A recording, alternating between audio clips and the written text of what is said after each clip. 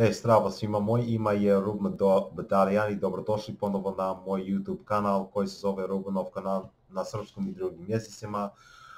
danas ću vam reći moje knjiga koji sam čitam sada. I ovo book se zove Fluent Forever. ovo book je veoma korisno za mene jer volim da naučim različite jezike i imam plan da tačno govorim ta srpski do kraja godina. I nakon toga želim da naučim ruski, bulgarski, jermenski i to je sve.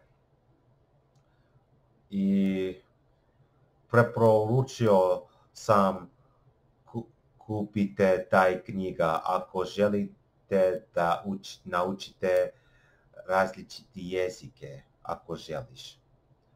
To je sve. Vidimo se uskoro.